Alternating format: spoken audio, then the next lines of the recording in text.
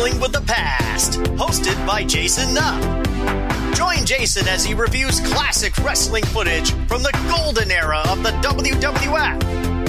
When our biggest childhood fear was anyone from the dreaded Heenan family capturing the precious World Wrestling Federation gold from our red and yellow savior, Hulk Hogan.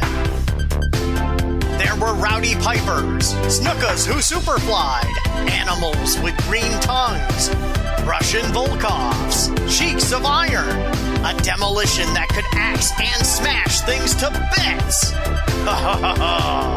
it was a glorious time to be alive.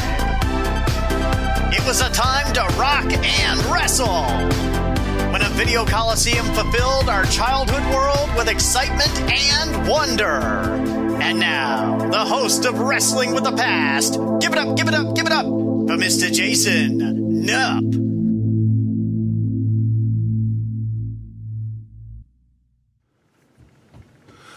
What's up, guys? Jason of New 80s Revolution down here in the cave for another episode of Wrestling with the Past.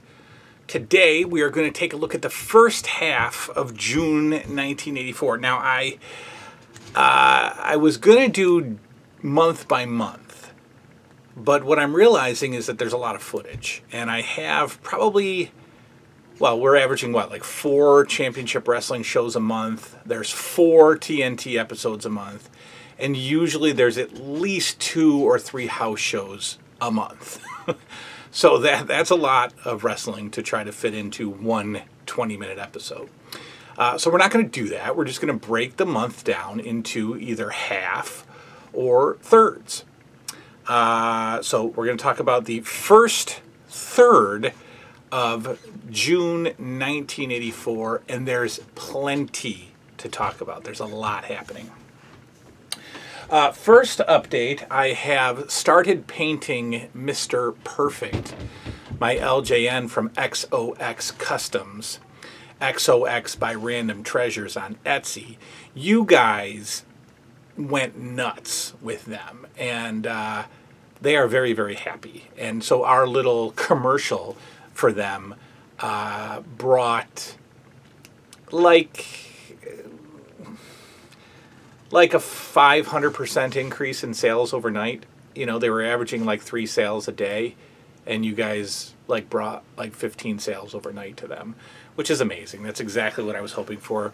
They are great people, and the more we buy, the more they're going to make. So let's keep it going. So I have started painting uh, my Mr. Perfect, and I am by no means a painter at all. Um, there's definitely going to be some scraping. You know, the, they told me that the trick is to take a tooth a toothpick and scrape outside. You know, if you go outside the lines, I got to clean up Mr. Perfect's arm there. I already got some schmutz on it. This is the first coat of uh, the outfit. I'm going with baby blue. Boots are done. And the eyes are kind of done.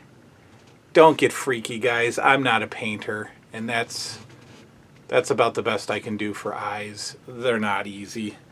So uh, Mr. Perfect's coming along nicely. We're going to get a nice... Uh, maybe a dirty blonde hair going with uh, mixing up my paints and so according to XOX by Random Treasures on Etsy, my friend Net, uh, she's she gave me some bad news.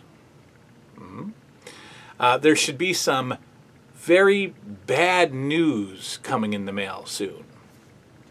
I don't know what kind of bad news that could be, but there's definitely some bad news coming for the LJN shelf. And that bad news is going to be available to all of you guys as well. Okay, without any further ado, let's get into June 1984. Uh, June 2nd, 1984, we've got a Philadelphia Spectrum house show. Now, when I do these, I'm not going to talk about the entire card uh, unless something um, out of the ordinary happens or something that I think would be of interest to you. Uh, the two things I will talk about on that card is we've got an Intercontinental title defense.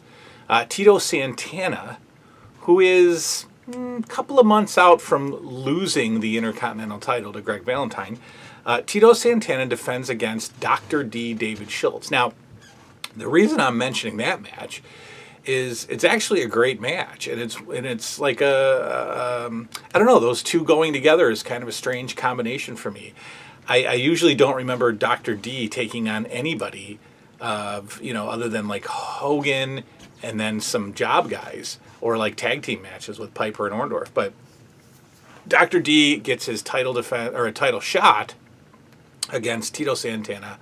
Uh, in that match, that is a straight up Tito win, I believe. I probably should have I should have wrote that down.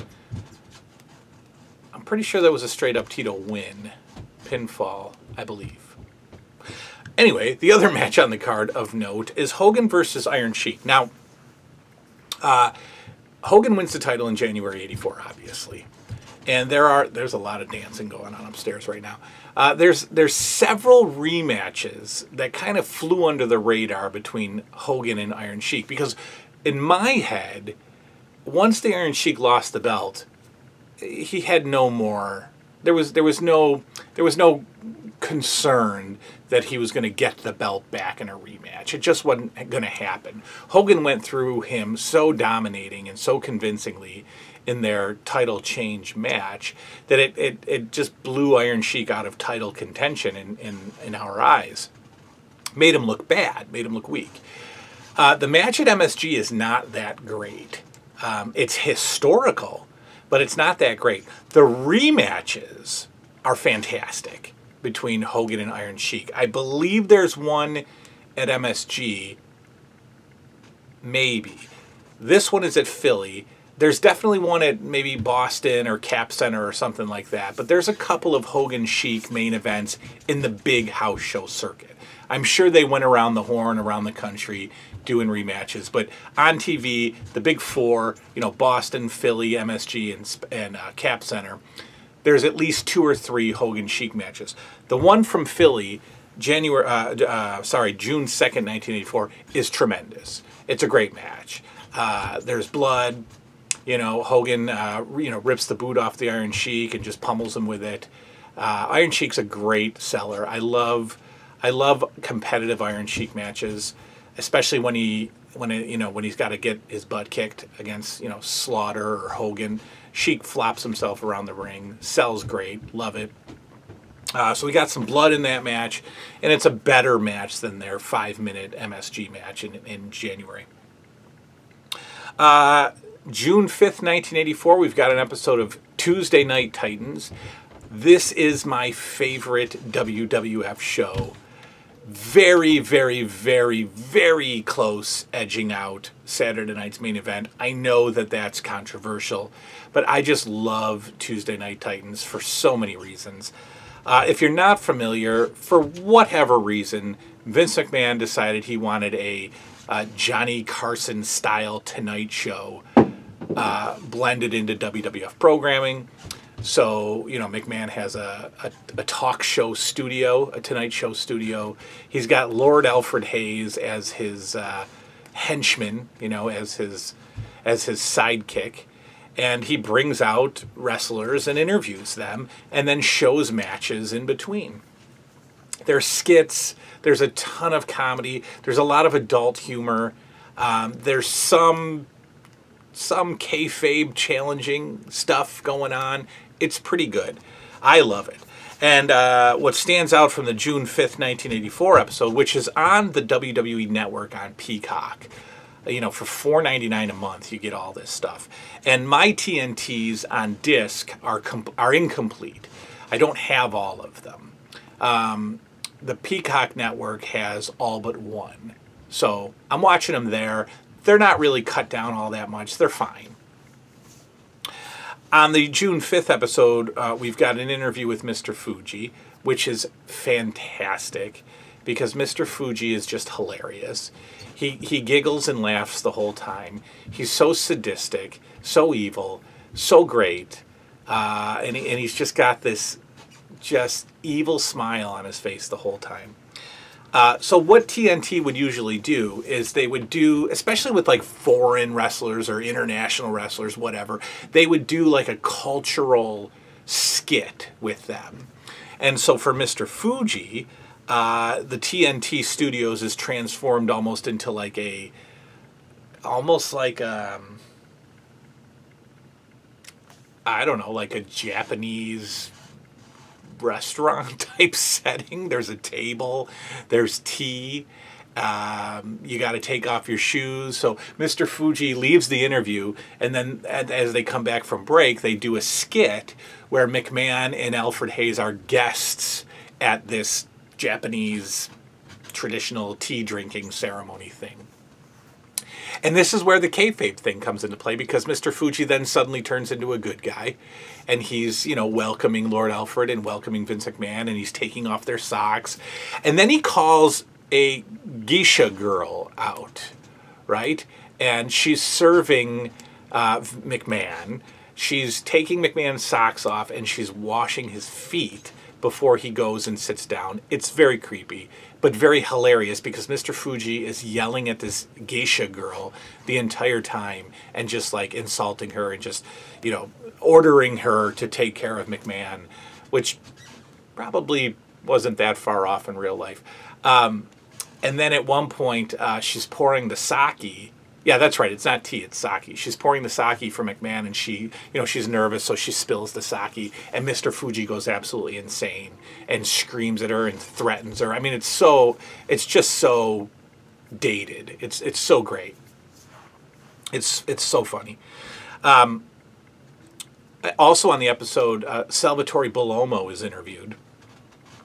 And they talk about his real life hobby of making uh, paper boats out of newspaper and magazines. So, so he's interviewed, and then they show clips of like his home, of him making boats, and then they set him up at a little table and they have him make a boat out of a WWF magazine. So for the rest of the two hours, he's making a boat.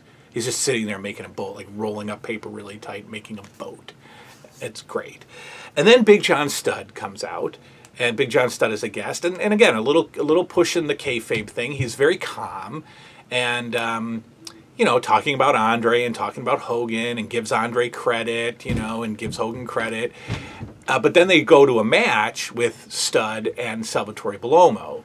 And you know he beats him, and then Bellomo's like, ah, he just got lucky, and and then Studd's getting angry at Bellomo, and he walks over, and they have like a little confrontation. I thought he was going to destroy the boat and the table, but he didn't but it's so cool and, and and it's just so great it's it's and mcmahon is like trying so hard to be a straight talk show host. Lord alfred hayes is just silly and goofy. I love tnt all right so that takes us to uh, june 9th 1984 a championship wrestling episode. Some highlights from that. We've got uh, jesse ventura is starting to show up. Uh, he is one of my least favorite in-ring performers. Uh, i can't stand him I, I, he's terrible in the ring. I don't like him. Um, and I don't know where the whole, you know, look at my body gimmick went. He's really not in that great of shape. Don't get me wrong. He's obviously strong and you know, there's some muscles, but he's he's fat. You know, there's there's he's not lean and the muscles are not defined. So I don't know where Jesse the Body Ventura came in. Not that great of shape. Um, okay, so big stuff. We have two Piper's Pits this week on uh, Championship Wrestling because they would also do a Piper's Pit on WWF All Star Wrestling. Well, they needed to show this. So, what happens is we've got the Piper's Pit for Championship Wrestling, the one that was supposed to air. We've got more Cyndi Lauper stuff. Um, on on last week's episode, Dave Wolf the manager, I think, slash boyfriend at the time of Cyndi Lauper, was on Piper's Pit and was denouncing Captain Lou and saying he's not Cyndi Lauper's manager. I'm her manager. We don't have anything to do with Lou. You know, he's a little, you know, he's a little crazy. And Roddy Piper's being very nice to him, and David Wolf's doing a very good job. And uh, and so that's it. David Wolf sets the story straight. Well, then the next week, it's Piper and Captain Lou again and this time, Roddy Piper says, Look, you know, you couldn't get her on the show. We had Dave Wolf on the show last week. I went out and got Cyndi Lauper. Next week, Cyndi Lauper will be here on Piper's Pit with Captain Lou Albano. And we're here. It's starting to begin. It's beginning the war to settle the score. It's beginning WrestleMania, the Rock and Wrestling Connection. It's all happening right now. So next week's Piper's Pit, which would be June 15th, I think we're going to see Cyndi Lauper. And I know what happens. Like she just tells off Lou Albano. I think she storms off. It starts the whole thing. Well, that's the Piper's Pit that originally aired. They also went to a very serious Piper's Pit with Mean Gene Okerlund sitting all by himself in Piper's Pit with that very, very serious, something bad has happened voice that we've all heard from the wrestling announcers. And he says parental guidance, ladies and gentlemen, is suggested. The Piper's Pit, uh, an incident happened recently on Piper's Pit that has shocked us all. I, I recommend you get the children out of the room.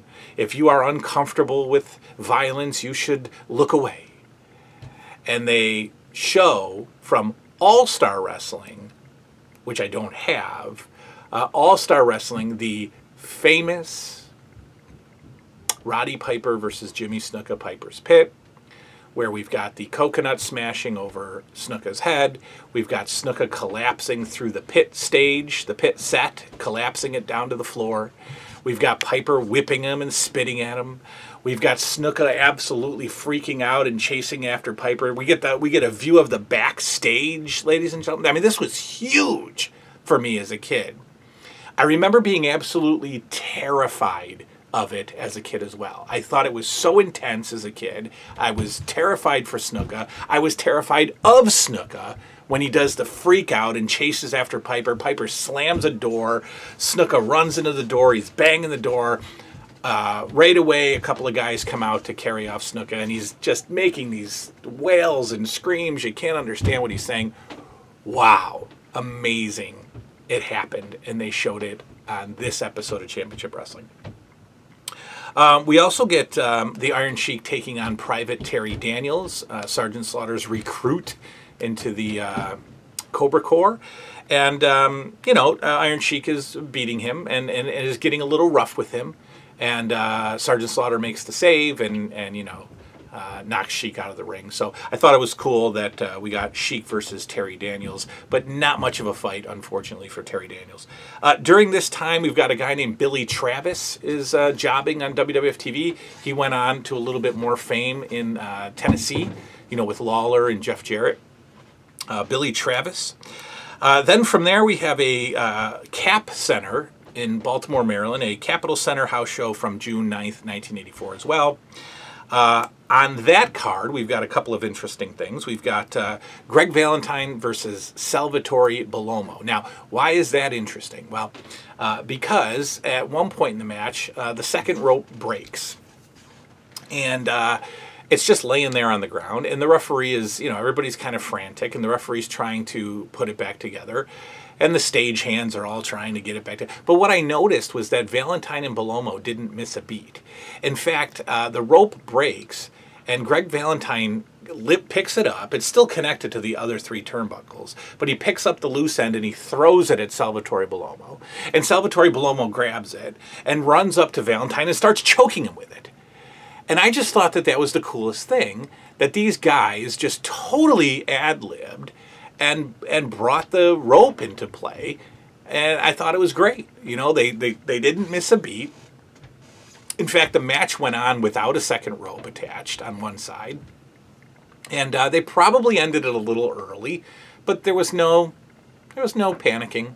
No, they just did their thing, and, but used the rope. And I just thought, uh, how how you know impromptu uh, to grab the rope to throw it at Bellomo. Then Bellomo picks it up and starts choking Valentine with it, and uh, I loved it. I, I, just you know there's I just went with it, and and you know that's a very markish thing for me to say, but they just flowed with it, and I thought it was great. Uh, we've got Jimmy Snuka versus Dr. D. David Schultz on this card. That's pretty much the uh, uh, the second uh, main event or, on, on the card. Uh, and this match is interesting because it is it is post uh, Piper's Pit.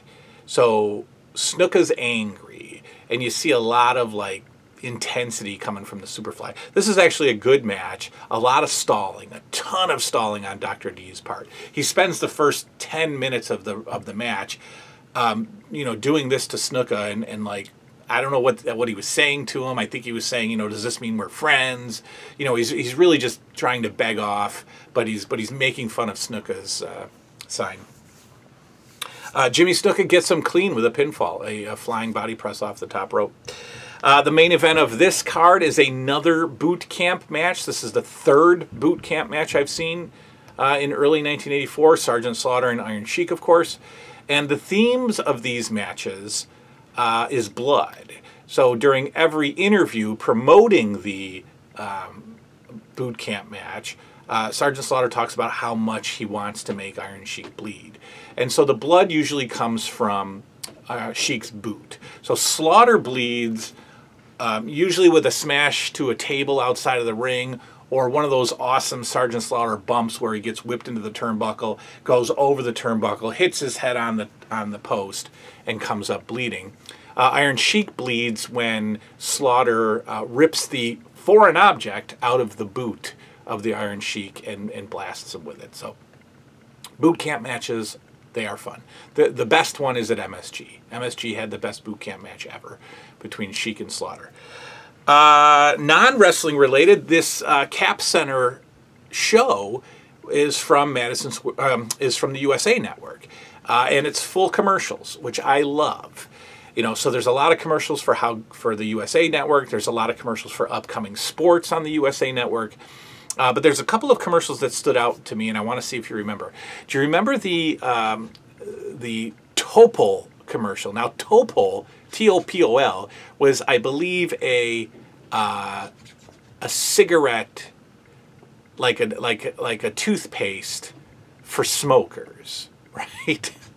And the grossest is this is the grossest marketing ever because in the in the very beginning of the commercial, a guy takes a puff of a cigarette, holds up a white hanky, and blows into the hanky, and it stains the hanky brown. Mm-hmm. So the Topol guy goes, look at this. Look at what, you know, is coming out of your mouth with cigarettes. This brown stain. It's disgusting. It's disgusting. So uh, I thought that was was interesting. The other thing is uh, USA Network. There was a lot of um, television, like like uh, you could order stuff, right? You could order the four disc or the four album set of the greatest rock songs of the 60s. You could order the uh, cubic zirconium or zirconium uh, ring or earrings for $9.99. You know, there was a lot of stuff you could order. But what I noticed was the phone number for all of these items was the same. It was 1 800 USA 1000. That's what you would do. You would call 1 800 USA 1000 and order whatever was being sold on a commercial. So I was like, well, what's up with that? How did that work? You know, was the USA network behind the sales of all of these items and just came up with one phone number? I mean, they're very different commercials, you know, uh, and, and they're sold from different companies, I believe you know, the albums are sold from a different company than the ring, uh, or the earrings, I assume, but the phone number was the same 1 800 USA 1000.